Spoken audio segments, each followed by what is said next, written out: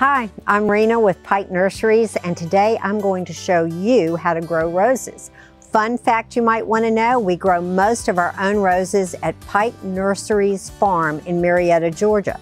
So all of our roses are grown to strict standards to ensure you're already taking home the best quality plant that's already been acclimated to this region.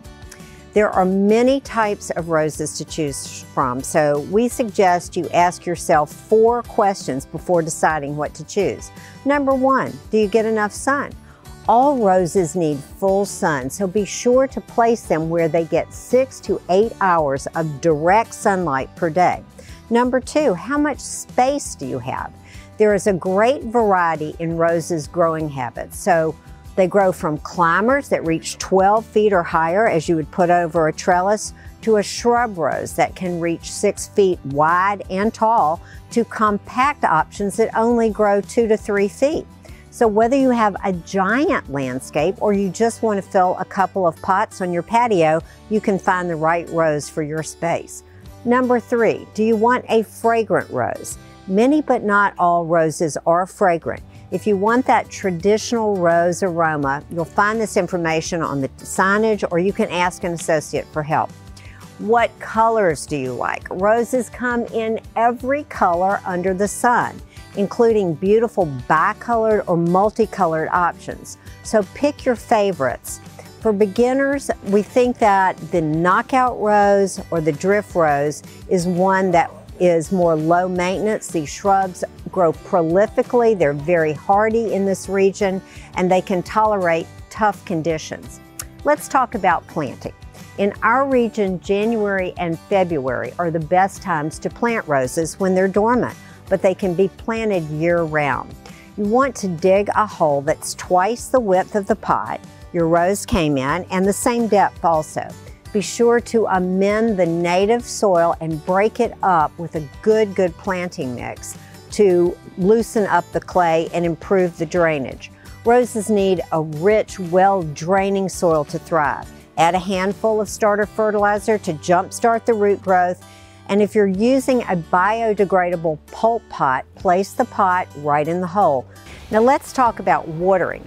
Roses need regular watering, especially in their first season while their root system is establishing. Check the top inch of soil for moisture. If it's dry, you'll need to water supplementally to keep the soil evenly moist. Always water right at the soil level at the base of the plant. Never spray the leaves or the blooms because this can cause disease, especially in our humid summers we recommend using a drip irrigation system or a soaker hose connected to a faucet with a timer on it so that watering will be more efficient and easier for you. Applying a layer of mulch over the soil will also help retain soil moisture. Now let's talk about caring for your roses. Roses are heavy feeders and they will benefit from regular fertilization. Of course, use a root starter when you're first planting your rose, and then starting in the spring, when the plant starts leafing out, use a rose fertilizer about every six weeks, like Dr. Earth Rose and Flower Food. It's a great one. An ounce of prevention is really worth a pound of medicine when it comes to roses, so you want to keep them healthy by properly watering and fertilizing. But if that doesn't work, Use a liquid systemic like the Bonide Rose Systemic Drench or the organic 3-in-1.